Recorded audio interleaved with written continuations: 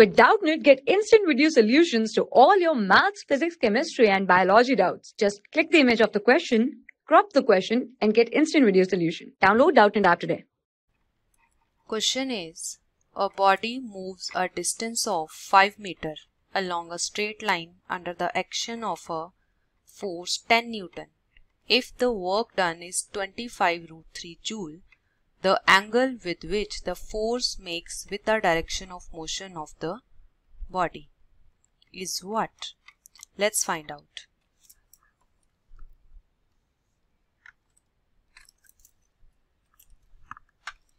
We know the work done is Fs cos of theta.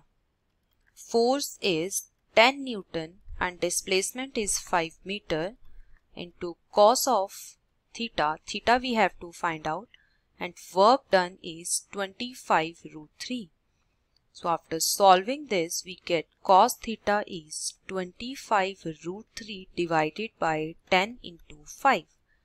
5 into 5 is 25 and 5 2s are 10. So cos theta becomes root 3 by 2. So we can say that this implies theta will be 30 degree.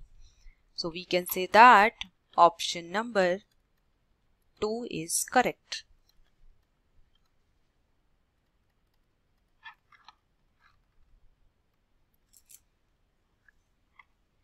For class 6 to 12, IIT JEE and NEET level.